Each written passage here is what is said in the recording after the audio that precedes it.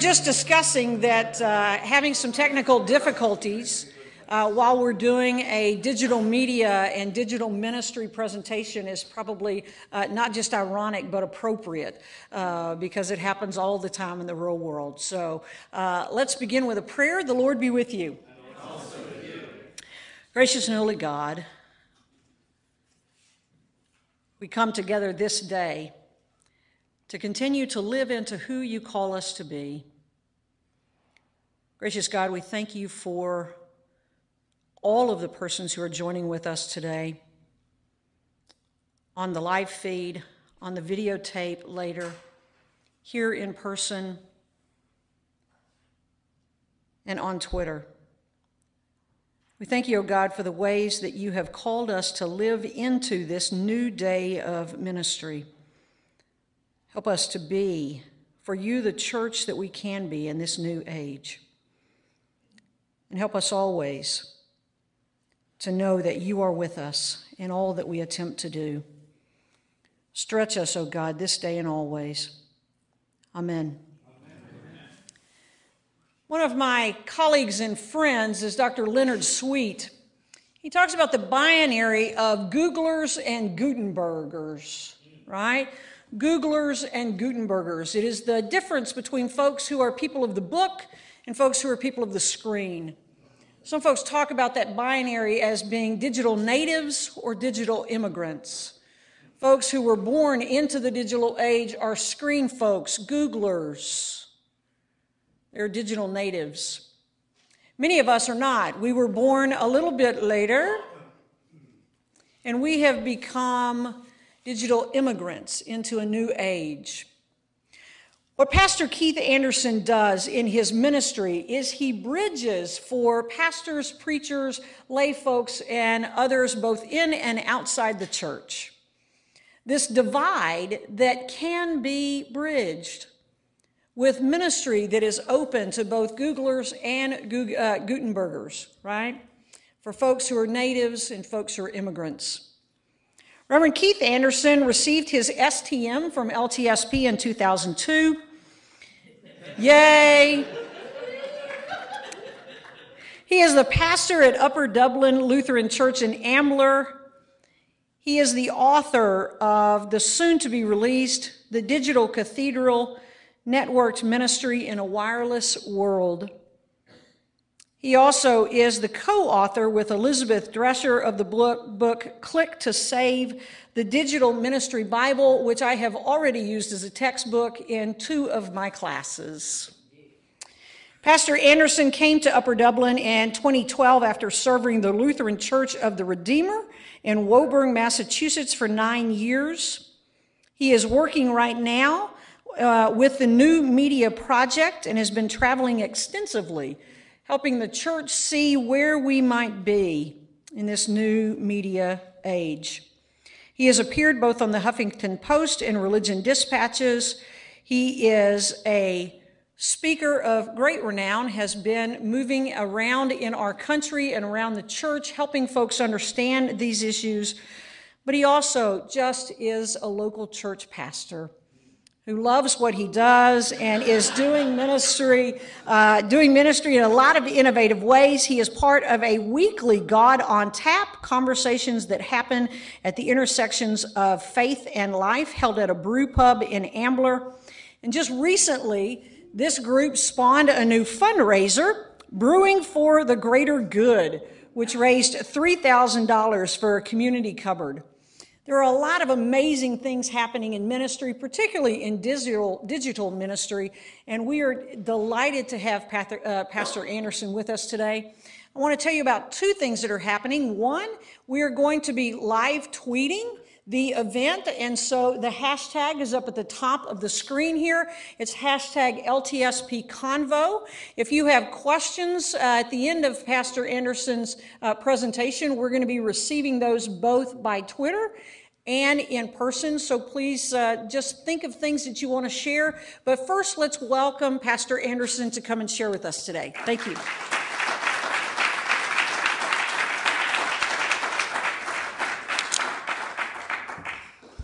Thank you so much. Um, it's great to be here. Thank you, Professor Wiseman and President Lose and Dean Sebastian and Professor Grafton. Um, when I approached David, who's a member at our church at UDLC, uh, said, Do you think there might be an opportunity to share some of the stuff I've been working on with the book? I really never expected all of this. Um, so thank you for making this space. Uh, thank you to LTSP for supporting me in my ministry preparation. I really um, had such a profound experience here uh, during my Lutheran year STM. And uh, in my parish ministry and in my speaking and writing, I especially especially grateful for this opportunity to share what I've been working on over the last year and I suppose years, thinking about uh, digital ministry and how we uh, build community and share the gospel uh, and lead in a digital age. Uh, I'm grateful that we have um, people here in the room and people on Twitter and watching the live stream. I know at the very least my mom and my stepdad are watching. So, hi, mom and Ray. Uh, we're taking questions and comments at the hashtag LTSP Convo. Uh, and in my mom's case, you can just call me later. Um, I probably have uh, way too much material to cover in the time allotted, so um, I'll move through it pretty quickly, and so let's uh, jump in. Uh, it goes without saying that we are uh, living in a time of rapid change and that the field of ministry practice uh, has changed dramatically within recent years. Enormal, enormous cultural shifts uh, the end of American civic religion, uh, common perceptions and portrayals of Christianity and Christians, uh, detailed extensively by the Barna Group. Um, congregations are looking at changing family configurations, uh, multi-general multi-generational nature uh, of church now, having six generations uh, at one time in our congregations. So from youngers to middles to olders to six distinct generations with distinct experiences and distinct needs. Uh, we have a more diverse culture than ever, a more transitory culture than ever. Um, and the two things that I've been concerning myself with uh, in my parish work and in my writing is the development uh, and acceleration of internet, social media, and mobile technologies, uh, and the rise of the nones, that is, the religiously unaffiliated. So if you were to ask them what their religious affiliation would be, would be they check the box, none of the above. Um, so today we find ourselves living in what I would describe as a digitally integrated and spiritually distributed world. Uh, first, digitally integrated. Uh, we are living through what Barry Wellman and Lee Rainie call, in their very helpful book, Networked, uh, what they call the triple revolution of the internet, social media, and mobile technology, uh, which has been a trend for over about the last 25 years, but we see uh, moving so quickly um, even in the last few. Uh, and these technologies have become embedded in our everyday lives. Um, and so Pew Research has done a wonderful job of tracking the ways in which uh, um, American adults are using technology, um, internet, social media, and mobile devices. Um, some of those statistics are that 87% of American adult, adults are online. Uh, 71% access the internet daily. 68% connect through a mobile device, which is really noteworthy. 71% of adults who are online are on Facebook. That represents 56% of the entire US population. It's on Facebook. Um, and after Facebook, there's a big drop off to LinkedIn, Pinterest, Instagram, and Twitter, all of which hover around that 28 to 23 percent.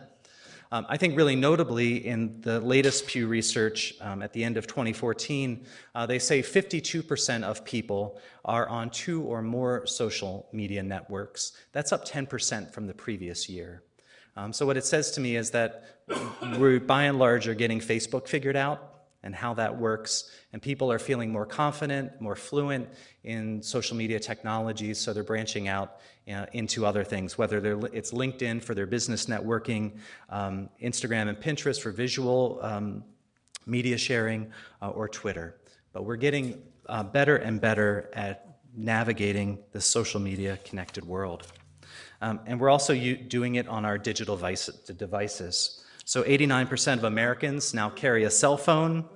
Um, 58% of American adults use a smartphone, which is a pretty remarkable number. Um, and you can see here the way that people use those technologies. So 81% text, 60% access the internet, 50% download apps, 49% use GPS, get recommendations, location based information, 48% listen to music, 41% watch video, 40% record video. Um, and so these technologies um, in this triple revolution, um, technology revolution, have really become integrated and embedded in our daily lives. You know, we no, no longer walk across the house or across the room or across campus to go to the computer lab, to dial into our modems um, and access the internet. Now everything is delivered right to our pockets and, uh, and even to our to our watches now. Just think about the way that we access music and listen to music. You know, the news this week was that Starbucks finally stopped carrying CDs, which seems long overdue. Um, though at the same time, they, they have been handing out little cards that give you a free app of the day or a free song of the day, where you get like the sweetener and the chocolate you sprinkle on your lattes. Um, and so they've been doing that for a long time. So they've sort of been bridging the two. But now a lot of people discover music, you know, not by the music store or even buying it on iTunes, but streaming services like Pandora or Spotify. Think about the way that we access television now. Uh, we're not all sitting down at the same time, the same time of the week, and watching Seinfeld. Um, we're binge watching on Netflix now or Amazon Prime or whatever your platform is. This week, all the rage has been people uh, binge watching House of Cards on Netflix because the entire new season has been released at one time.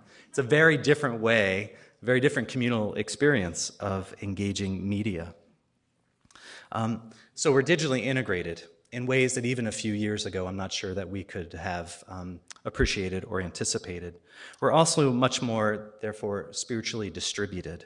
Um, the Pew Research report came out uh, last year talking about the ways that people share their faith online, uh, and their findings were that 20% of Americans have shared their faith online and that fully 46% of Americans have seen someone else share their faith online.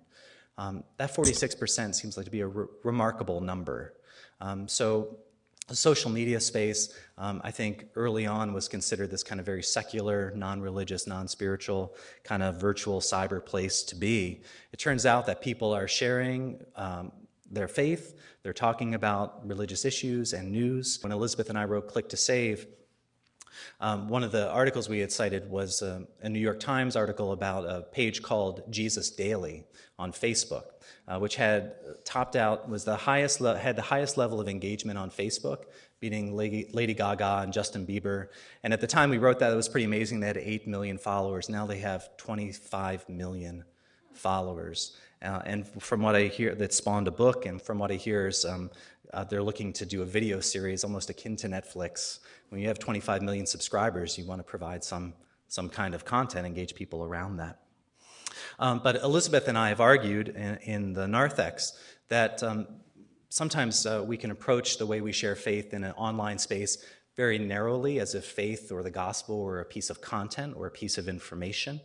Um, and we ask the question well, what about uh, the kind of relational connections um, that are ongoing, the care and the concern, which is hard to quantify, uh, but which is very important and probably um, the majority of ways that we engage faith online. Uh, and Elizabeth asked the question, you know, what if I do this? Um, does anybody know what this is? Um, this is one of the, this is hugs. It's hugs.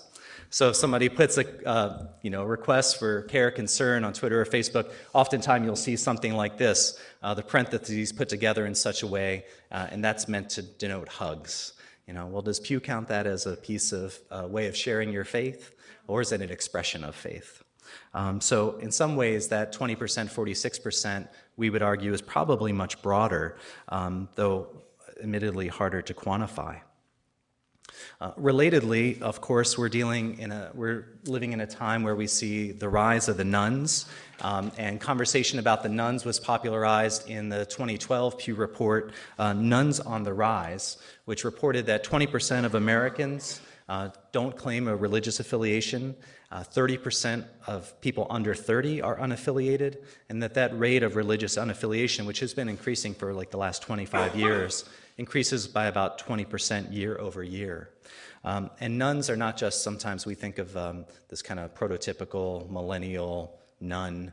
Um, nones cross the board in terms of age and experience and backgrounds, and the majority of nones are actually formed in our congregations. As Elizabeth likes to say, sometimes our congregations uh, operate as none factories. Uh, we produce them at astonishing rates. Um, um, just this past week, the Pu- Public Religion Research Institute, um, uh, via the Washington Post, published numbers uh, about religious affiliation in the country. It's a set of uh, maps which are well worth looking. I'm just posting the unaffiliated map now, and it breaks down the percentage of unaffiliated by state. Uh, you can see here in Pennsylvania, we're at 19. My old stomping grounds in Massachusetts um, was 22. And I can tell you there's a big difference between 22 and 19. Um, when you move from Massachusetts to Pennsylvania, you are church going people. Um, and, and I suppose also part of that is that uh, for Lutherans in New England, there are about as many Lutheran congregations in the five states of New, uh, of New England and Upper New York as there are in all of Southeast Pennsylvania. So there is this kind of cultural and civic um, support for being Lutheran, like actually people have heard of it, um, as opposed to Massachusetts, when you say you're Lutheran, they say, You mean Lithuanian? Um, so, uh, so we're living in, a, in, a, in an environment where uh, far, far less can be taken for granted about what people know about what it means to be a Lutheran Christian and what it means to be a church.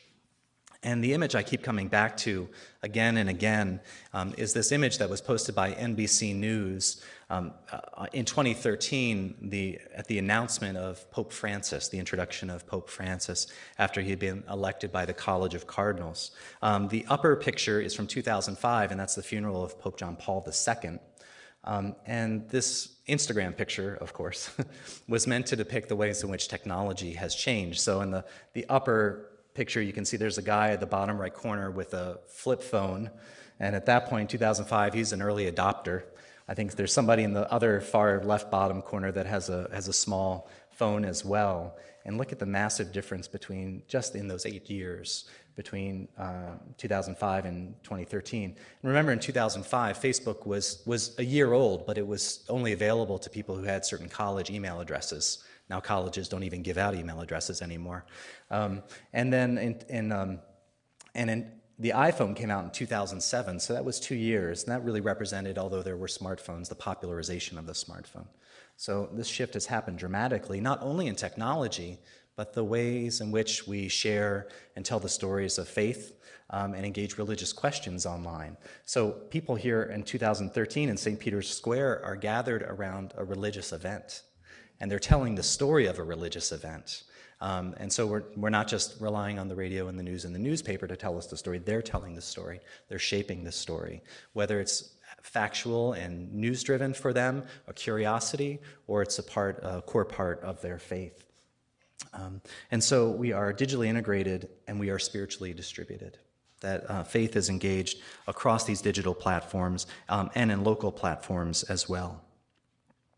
Now, the nones, uh, I fear, has become a code word um, among church insiders for church decline and everything that seems to be wrong and going against the church's way. Um, the nones is this source of all manner of hand wringing and lament. Um, the moniker of none in of itself is problematic because it infers an absence, a lack of, um, an otherness um, when in fact nones practice and believe and make meaning um, in profound ways.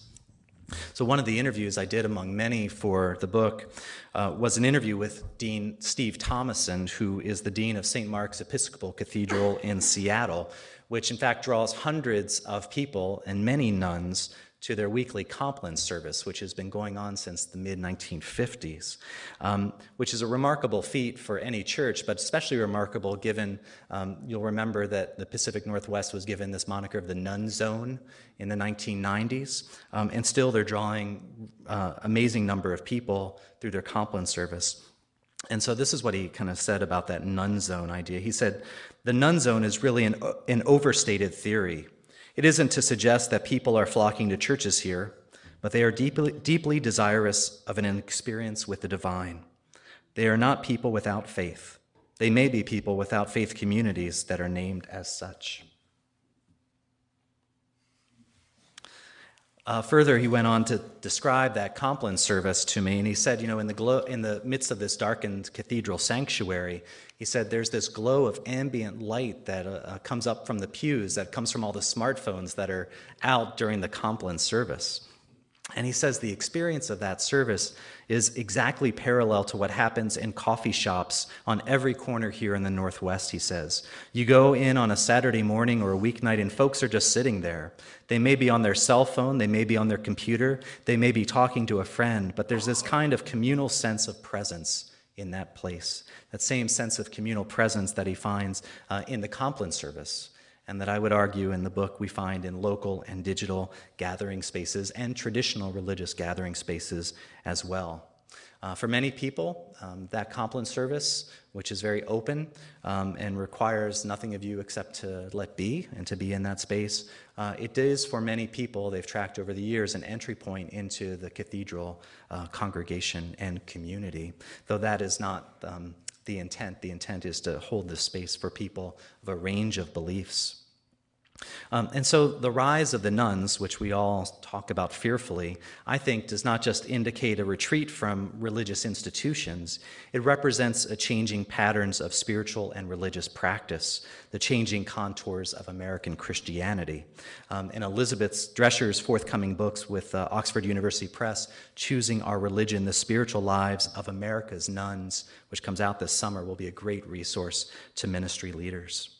Um, the church needs to move beyond the sense of fear and lament around nones um, and to recognize that what this is is a shift in observance and practice of religion and spirituality itself. The question is not, why don't they like us? But instead, how is religious practice and belief changing? Where is it happening? Much of it online. And how do we participate in that? And what is the networked character, whether it's happening online or off, uh, of American spirituality. Uh, and in another Pew study, they track this trend among millennials, but also across generations, that people are moving from institutions in, to networks. So they track it in the religious sphere, the po- political sphere, and even the practice of marriage, saying uh, millennials, but every generation on its own in particular, um, is moving from uh, less uh, membership based institutions to more of uh, networked connections. So, how do we participate in those networks? How do we create those networks? How do we nurture um, those networks? Um, and so maybe the nones are not so much other as we think.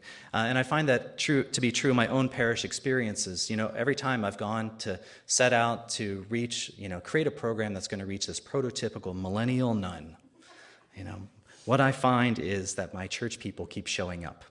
Whether it's a living room church, whether it's a YouTube two minute Bible study, if it's a theology pub, it's coffee shop, office hours, what always happens is my church people come out over and over and again at two different congregations. And what that has shown me is that so much of our longings are the same. Um, but this isn't a phenomenon that's just about the nones, um, but about all of us um, and how we practice our faith. And so, my book, The Digital Cathedral, is a response to these changes, changing patterns of religious belief and the shifting field of faith and ministry practice. Uh, it is a call to a more expansive way of being church in a time when our definitions have become all too narrow. In the face of decline, we have closed in on ourselves uh, in an understandable and yet misguided attempt at self preservation. Now more than ever, we need to imagine a church, belonging, spiritual practice, and faith formation much, much more broadly than we have. And so I say in the book that the digital cathedral is an invitation to a more expansive understanding of church and ways of being church at a time when our definitions of church have become too narrow, too parochial, when evangelism is reduced to membership, faith formation is narrowed to Sunday morning education classes, and sharing the gospel has been reduced to marketing rather than sharing the free and abundant grace and love of God. This more expansive understanding encompasses a range of people, practices, and beliefs. It takes seriously our digitally integrated lives, where what has been called the triple revolution of the internet, mobile devices, and digital social media is revolutionizing the way we lead our lives and live out our faith. So, ministry in a digital age then is not just about how we use these social media platforms to broadcast out our church messages as if a great Facebook page is going to save your church. Um, it is important to understand and to know these platforms, and Elizabeth Drescher and I um, describe what we see as faithful uses of these media in our book, Click to Save. However, It's really primarily about how we are connected, networked, how we listen and cultivate relationships, how we discover common ground, extend care, concern, prayer, and God's love, and how we bridge those connections between our screens and the face to face, how we understand the sources of our authority, the meaningful participation in networks, and living and leading with authenticity, understanding and fulfilling our particular place, you might even say our calling, uh, with um, consistently and with continuity across these networks. And so, for me, the question about how we do ministry in a digital age is, is, not just about the digital technologies themselves or the devices. It is about a networked, relational, and incarnational leadership stance, which Elizabeth and I named in Click to Save, and I developed more fully in the Digital Cathedral. It's about fully engaging the world our, our digital social networks both reflect and also help to shape. So, why cathedrals? Um, and why, as a Lutheran, would I choose to talk about cathedrals and use it as the central image of this project when we don't have any cathedrals? Um, well, I suppose in a way you could say that cathedrals were the cutting edge technologies of their time. and that is true, and they still amaze. I love what Robert Scott, the renowned cathedral historian, he said. He said Gothic cathedrals made the doable seem impossible. And when you stand in the midst of a cathedral, you understand why. But I really chose cathedrals because, first, um, they are expansive and make room for a range of peoples, practices, and beliefs. Um, this is a picture of Grace Cathedral in San Francisco. Um, but this is how uh, one bishop, the Bishop of Norwich in England, described the day in the life of Norwich Cathedral. And you can see uh, it's a little dark, but you can see some of that reflected in, in this. This is how he describes a, a scene, a day in the life. Children playing in the cloisters, mothers chatting to each other, a couple eating sandwiches, visitors pushing prams, vergers rearranging chairs, people lighting candles, kneeling quietly, others simply gazing into space. One or two are engaged in animated discussion with a guide, others curious about what was ta- taking place in the nave, still others walking past the event, a service for a nearby university, down the side aisle, seemingly oblivious to it. He says this They did not make a community in themselves but the cathedral was large enough to include them without asking them any questions or seeking from them any justification for being there. Spaciousness in a cathedral does have a liberating quality in our present age. What was regarded as likely to be forbidding is now a vehicle for letting be. And that's very much the case at the Compline service at St. Mark's in Seattle.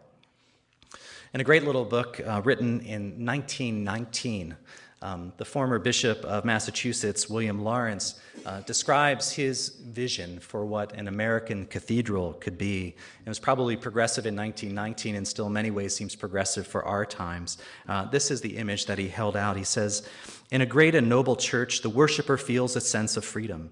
He, though an unchurched pagan, today we might say none, can quietly enter and without committing himself to any form of religious faith, feel the sense of, et- of the eternities. Therefore, he says, beneath the great arches of the cathedral may be kneeling side by side men and women of many faiths and creeds, and the temple may become, through worship, a church of reconciliation. And I think that word reconciliation is so important um, for where we are at the moment. Uh, often we approach these digital spaces and, and digital platforms as tools for conversion. Um, and I think the invitation for us is to view them as platforms for reconciliation for people who have been um, hurt by the church, who are alienated from the church, um, to be in relationship and conversation over time, and to share the gospel in the context of that relationship, and to find ourselves reconciled to one another within this digital cathedral. Um, secondly, cathedrals are more than monumental buildings. They are networked and relational hubs, deeply connected with the peoples and neighborhoods of which they are a part. They are, as Elizabeth Drescher writes in the foreword, profoundly networked structures, reconfigured through geographical, historical, religious, and spiritual space. Um, and my point of reflection on this is this wonderful drawing from 1167 or thereabouts uh, called the Waterworks drawings, uh, the Waterworks drawing of the Eadwine Psalter, which comes from Canterbury Cathedral. Um, and this is a drawing of Canterbury Cathedral from around 1167 and it's actually the plumbing system. so at the bottom of the picture here, it's, a, it's two pages that are set vertical so it's easier to see. At the bottom, it displays um, where the water is piped into the cathedral precincts from outside uh, through the wall. Um, and it's sort of color coded. There's a green line that you could follow all the way to um, a water tower, which is in fact still on the side of Canterbury Cathedral today, though not used for the water system. Um, and from there, the water is pumped out uh, throughout the, um, the the cathedral precincts. So in the cathedral precincts, there was a brewery, there was a bakery, there was an infirmary, there was the necessarium, which was the, the monks' latrines.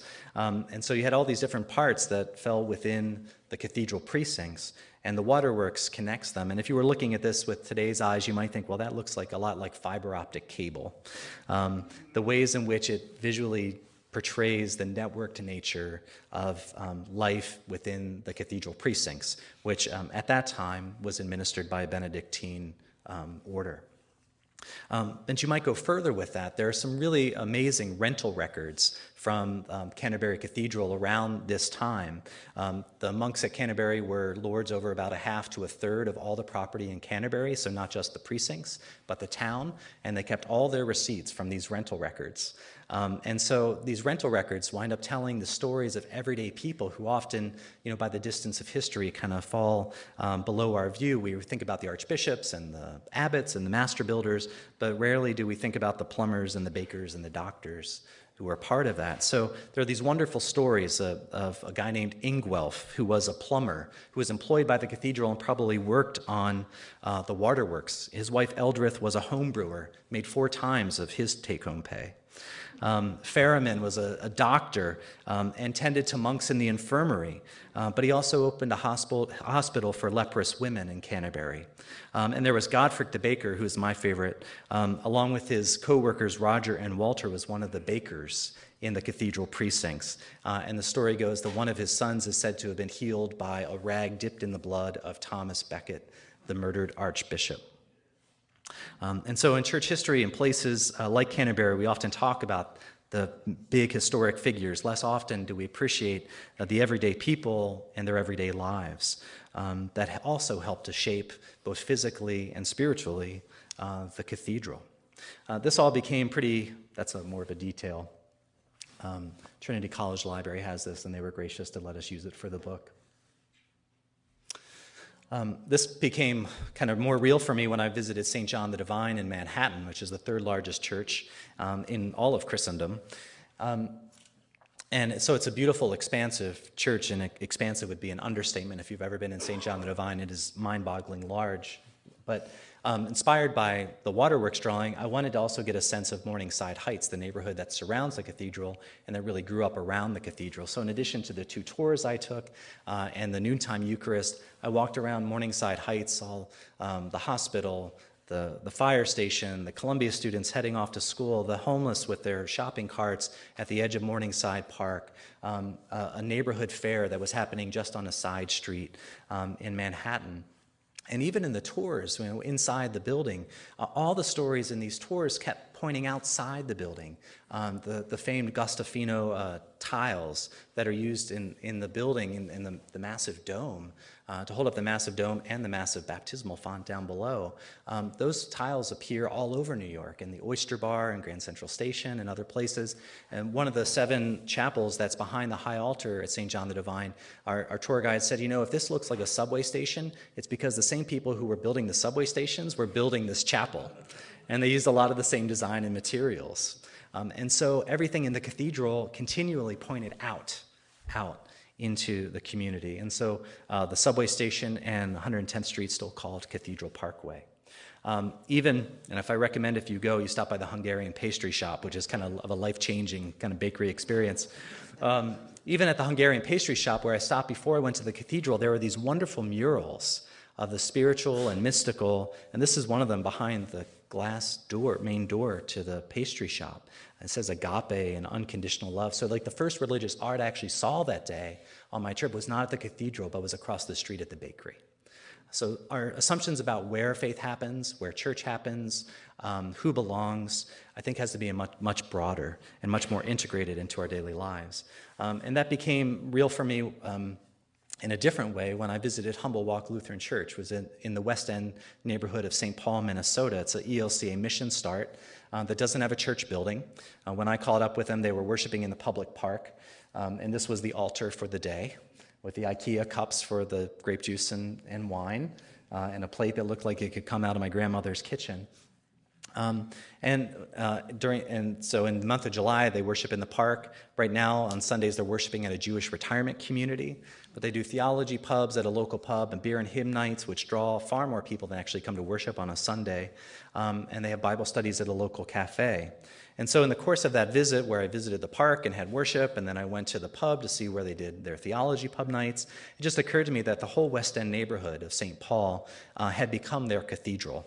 Um, with uh, the coffee shop sort of toward the top right on uh, 7th Street West, and the Shamrock, where they have um, theology pub and, and so forth uh, at the bottom. Um, 7th Street is their nave, and the ambulatories are all the side streets around it. They're making their, their neighborhood um, their cathedral. Uh, and so a question, the question that comes up for me then is uh, what do we consider sacred space? Uh, is it the substantive sacred space um, that happens in our church buildings, or does sacred space break out all over the place? Uh, Jeanne Kilde writes uh, How people organize themselves and behave within certain places and view those places with sacred importance. Space is sacralized by human actions and behavior, and certain spaces become sacred because people treat them differently from ordinary spaces. Sacredness is situational. Groups of believers create holy places by investing certain places or spaces with religious meaning and then acting upon those meanings. So we hold together this strong sense of place our congregations have. You know, my congregation's been in the same place for like 250 years and it's not going anywhere. Um, but we're also exploring the pubs and the cafes and the neighborhood um, of which we are a part and have been for a long time. Um, so, how do we think about this? Um, I thought about this when it was about four degrees at the Fort Washington SEPTA station uh, when we were doing Ashes to Go, which is the second year of doing Ashes to Go, which is where people offer the imposition of ashes at local transportation centers. Um, this started by a small ecumenical group in St. Louis and has sort of spread, it's much more popular with the Episcopalians, um, but we stole the idea. So this is our, my, me and our congregational deacon, Fred Renegar, He's also the chair of the candidacy committee for the synod, uh, offering ashes to go at 6.30 in the morning at 4 degrees. Um, and people would come through, and of course, many people looked at us like we were insane. Uh, they said, you know, stay warm. Uh, but a lot of people came forward and received the imposition of ashes. Um, and time and again, these last two years that we've done it, the um, reception um, that people have to it is a sense of blessing. People feel blessed by that. You know, telling a complete stranger, remember that you're dust and to dust you shall return. And here's a little information about Lent in our church. You would think to be a little off putting, but the, the, um, what you see on people's faces is a sense of blessing. Um, and that we have created or we have encountered sacred space here. Um, and I think this also goes for um, digital spaces. Tim Snyder, um, who studied at Luther Seminary and is now a doctoral student at Boston University, did a study about um, the response on Twitter to the shootings at, uh, at Sandy Hook Elementary School in Newtown, Connecticut, uh, and how people responded to to that incident on Twitter, and he followed, and they compiled all the information. Uh, and what he said was, Twitter became a very sacred space. People were posting pictures of candles. Um, people were using hashtags like no words to express their speechlessness about what had happened.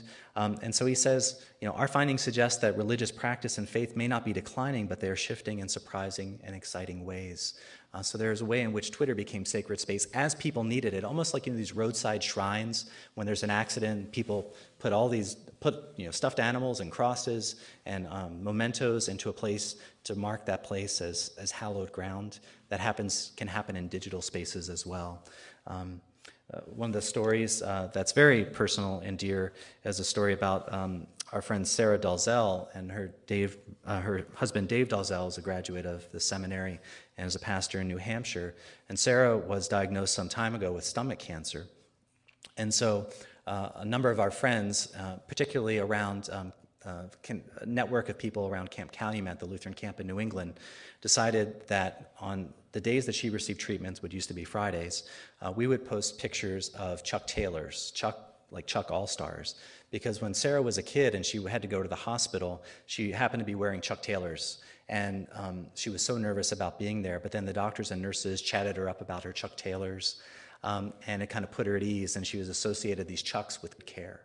So every Friday, then, people would post pictures of themselves with Chucks. uh, to tell Sarah on their Facebook pages, to tell Sarah that they were thinking of her, that they were praying for her, and using the hashtag sneakers for Sarah. And this is one of our friends who's praying with her chucks. Um, so these are places where sacred space happens. So every Friday, now it's Tuesdays, though she's in the hospital a lot more now, um, becomes holy ground. Facebook becomes holy ground. So, what's at stake with this sense of, of sacred ground? What's theologically at stake? And um, being in a good Lutheran crowd, I'm glad I get to reflect on that a little bit. Um, for me, um, the connection here, uh, what's theologically at stake? Well, the gospel is always theologically at stake. Um, but for me, the kind of beating heart, theological beating heart for this book is really a Lutheran understanding of vocation. vocation. Um, and um, vocation, which we shorthand as the priesthood of all believers, but which sometimes gets reduced to lay people doing the things that the priests or the pastors don't want to do. Um, and just a reminder that that really came out of the, the Reformation uh, and the shift from you know, the highest calling being to be a monk or a nun or a priest uh, to, be, to, to, people finding their, their highest calling in the, the work to which they've been called in their daily lives, whether it's a teacher, or a parent, a cobbler, um, um, you know, whatever it might be. And uh, Charles Taylor writes about this in Sources of the Self. He says, you know, by denying any special form of life as a privileged locus of the sacred, the reformers were denying the very distinction between sacred and profane, and hence affirming their inner penetration. The denial of a special status to the monk was also an affirmation of ordinary life as more than profane, as itself hallowed and in no way second class. The repudiation of monasticism was a reaffirmation of lay life as a central focus for the fulfillment of God's purpose. Um, now, Taylor will go on to say that what the reformers did was to really kind of remove the, the divine in the sense of the mystical out, outside of society. And, um, and I'd recommend to you on that Ron Thiemann's great posthumously published book, uh, The Humble Sublime um, where he takes Taylor to task on that and says it's, it's a profound misreading of Luther's own incarnational theology. Um, but I think a Lutheran understanding of vocation is much broader and deeper than I think we give it credit for. Uh, it's a ministry, it's about ministry in daily life, finding God, the holy, the divine. Perhaps that's something more and deeper in our daily living. Um, you'll probably be familiar with that Luther quote about the, the holiness of changing diapers, uh, which became real for me when we had twins which was our third and fourth children. Uh, so, in a very short period of time, we double the number of our kids and we triple the size of our family. And I can imagine Martin Luther thinking some days, God, it'd be great to go back to the monastery. um, and so part of this journey for me is my own experience of a parent. Uh, my spiritual life used to be very much grounded in silent retreats at the monastery, but when I realized, um, when I saw that ultrasound of two babies, um, that that was not going to be possible for a while, I had to push myself to say, how can I find God in the same way in my daily life? Um, not just in the monastery, not just perhaps even in a church building, but in changing diapers and being on the, on the carpet and playing with the kids, um, hosting play dates. Um, so, how do we recognize the holy in our daily lives, both online and off? How do we recognize all of life as sacred ground? How do we find the sublime amidst the mundane? And how do we recognize and affirm the ways people are already making meaning and practicing their faith? Uh, and how do we then come alongside and participate with them? President Lose had talked about this in his book, Preaching at the Crossroads. Uh, he says, jobs, looking for a job, relationships, parenting, managing too many things at once, money, family, school, relationships, hobbies, volunteering, the media, local current events. That is, the stuff that constitutes our daily lives often seems to be painfully absent from much of our preaching, and it's painfully absent from much of our ministry. Um, that I think uh, a lot of what we have done is to make the congregation life and it's all its volunteer opportunities the new monasticism. Um, that we send these signals to people that say, um, your highest calling is actually to be on three committees at church. God bless all those people. I love those people. Uh, um, but how do we help people see their highest calling as their parenting and the work, their daily work that they're called to? Um, and I think that's profoundly important when we think about these digital spaces. You know, what, is, what does a sense of vocation have to do with Facebook? Um, well, maybe your Instagram or Facebook or Twitter feed looks like this. Uh, you know, this is from like the last two days. How many people, how many friends do you see posting food? Um, you know, this is just like two, this is less than like an hour's worth of food pictures. Or how many people do you see posting pictures of their pets? um, what, what people are sharing in these social media spaces that we critique because they're so mundane and they're so droll and so boring uh, and so repetitive is they're actually sharing their vocation. And I think because we're so focused on what's happening inside our church buildings and our ministries, that we miss the ways in which they are doing ministry and living out their faith in their daily lives. And what social media gives us an opportunity to do is to see it, if we can recognize it, and to affirm it as living out their holy calling in the world. Um, uh, Elizabeth Drescher, in her new book, she published this in Religion Dispatches, but in her new book, she talks um, at greater length about it. She surveyed nones and asked them, um, What are the ways on a monthly basis that you make meaning? And the things they identified enjoying family, enjoying friends, enjoying pets, enjoying food, prayer, enjoying nature, and music were at the top of the list. She said, okay, well, if you don't go to church, you're not connected to a faith community, you're not affiliated, you don't identify yourself in that way, what are the ways in which you make meaning? And these are the things that they identified, all things that are deeply rooted in daily life. Prayer is the only traditional spiritual cat- practice and category that is listed among those. And she'll say in the book, and you know what? The categories that Christians or religiously affiliated people identify is not that different. These are the ways which the affiliated and the unaffiliated are making meaning in their daily lives. So, how do we understand that? How do we participate in that and engage that? And how do we keep the gospel going through these different parts of people's lives, um, all of which converge in these digital spaces? How do we go about the work of reconciliation rather than conversion, perhaps even reconciling the various parts of our own lives? Um, so, uh, just some, you know, some people that are doing this very well. St. Lydia's Dinner Church in Brooklyn um, organizes their entire um, worship service and really their community life around the meal. Um, so, so when you come to worship on Sunday night or Monday night, uh, the Eucharist is the meal that is shared together with the sermon and readings and song. Um, Shobi's Table, uh, which is a new Lutheran food truck church in, in the Twin Cities. Uh, people come and they get food at the food truck and they have a worship service on the sidewalk, which is um, very new, very beautiful ministry that they're doing there.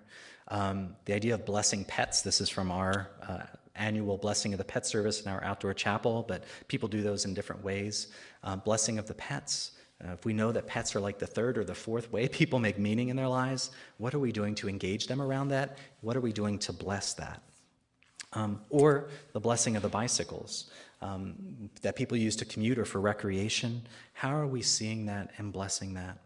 Um, um, one of my uh, favorite ministries that I learned about in the course of writing this was called a Nun's Life Ministry, uh, which is headed off on the right by uh, one of my heroes, Julie Vieira, who's a sister in the Immaculate Heart of Mary in Monroe, Michigan.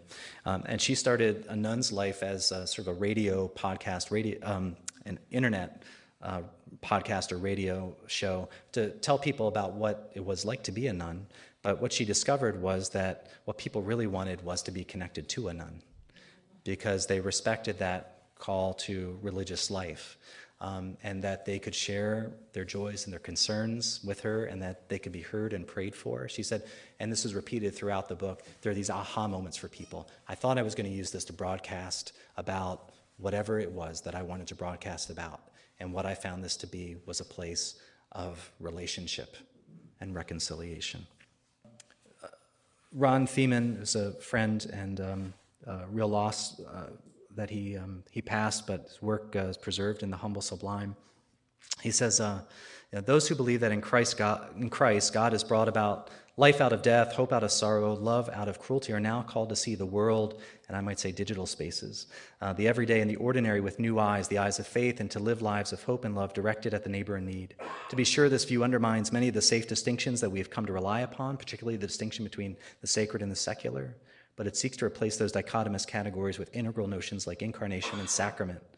In so doing, this view seeks to relocate the sacred not beyond, but within our everyday experience. And I think that's what we have the opportunity to engage with as we uh, do ministry uh, in these digital spaces and local gathering spaces as well.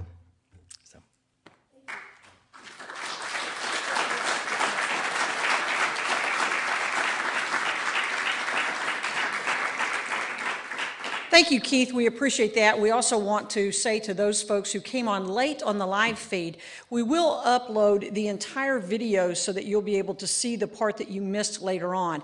And we have a little bit of time for some question and answers. I'm going to start with a question that came in through Twitter. Uh, and this question is How do we enter the digital game in our congregations by doing it well, not being too far behind, especially if our buildings are too old to be Wi Fi capable? How do we do this well? I think we need to start with being present in those spaces. Um, sometimes we focus so much on the technology or the lack of technology in our buildings that we forget about the technologies we're holding in our hands, which are by and large uh, digitally connected.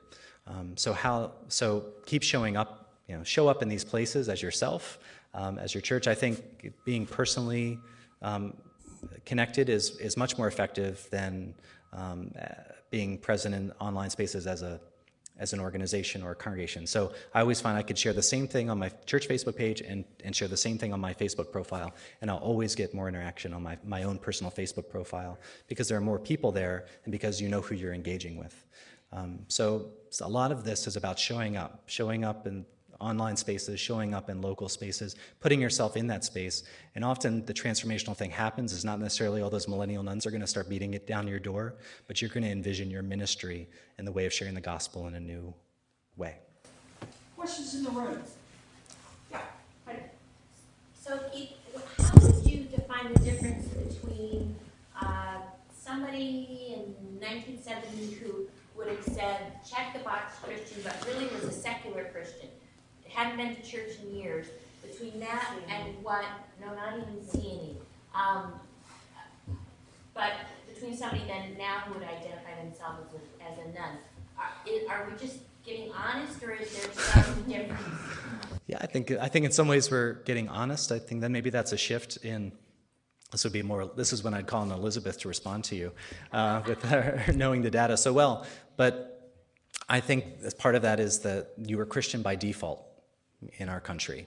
You know, if the not, you know you're a Christian by default, uh, and now I think we have more ways um, to describe what it is, who it is we are. Even in the category of none, Elizabeth will give you two dozen different ways that people identify themselves.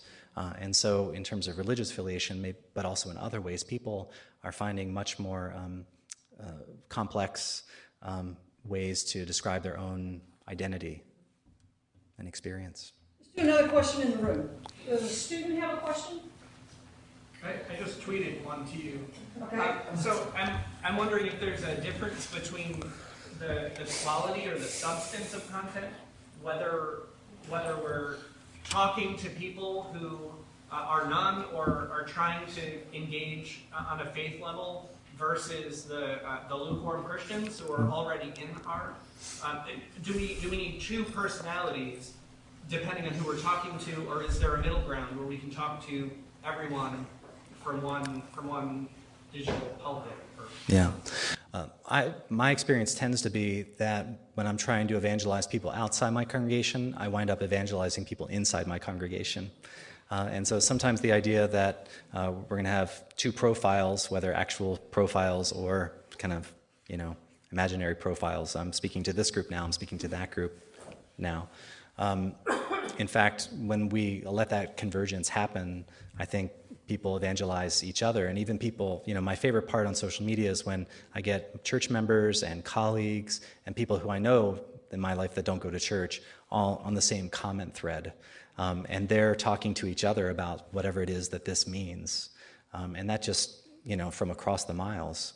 Um, and so um, kind of creating two different groups or three different groups or whatever it might be, I think uh, cuts down on the opportunities for those kind of points of connection. Got another question from Twitter, and that is not only do we have a rise of the nones right now, but it seems that we have a significant increase in digital activism right now. How can the church utilize that, make, uh, make uh, really substantial and important steps in increasing their digital activism? Um, that's a great question and, and very true. I was at the New Media Project, um, a conference on um, thinking theologically about social media and sharing the gospel. And one of the case studies that came up was Black Lives Matter. Um, and how do we engage as the church around digital activism? Uh, and one of the big warnings was um, well, don't try to co opt it, don't try to faithify it. Um, how do you, um, you know, see what's going on, participate without trying to co-opt it. Uh, either me as a white man trying to co-opt co-opt it, or as the church um, institution trying to co-opt it. So uh, a lot of this is about seeing what's happening and engaging with ha- what's happening without trying to somehow then make it yours. Um, but there are lots of opportunities to connect with people around issues um, of common concern to people.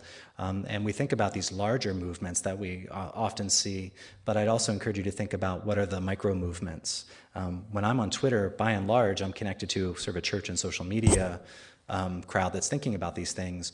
But it, in my two parish experiences, it's really been a way to connect with uh, what's happening in my local community. Um, so sometimes we think globally, um, what's happening in our neighborhood? What are the, the cares and concerns? How can we engage people beyond our existing networks, our existing church network, um, around some of these places of concern? Um, you know, not a very digital way, but I'll just say this event we had, Brewing for the Greater Good, was an example um, of a brew pub, a congregation, and a restaurant coming together to raise money for a local food pantry. Um, and that was all about building relationships over time. And over the course of that relationships, understanding that, in fact, Forest and Main had supported the Mattie Dixon Food Cupboard previously. And our church had also supported the food cupboard. So there was a place of connection, but you got to keep showing up enough for those stories to be told. Uh, and you got to listen long enough for people to share. Um, and then these points of collaboration can happen. I want to ask uh, President David Lose to come forward. He has just a couple of things he wants to say as we end today. Uh, I know we're, I want to be conscious of time, so just two things really briefly. In addition to a word of thanks for Keith to take this time and share his expertise and his journey with us, and to Karen and David and to others for arranging this. But the two things one is that I come at this um, from a really personal or even more selfish point of view. As a couple years ago, I realized, uh, sitting with my kids in church, that more often than not, they were, quite frankly, bored out of their minds. And if that we didn't find another way to interact with them around questions about meaning and spirituality, they would not keep coming very long. Um, what I realized on further reflection that was often when I was sitting with them, watching them be bored, I was a little bored too.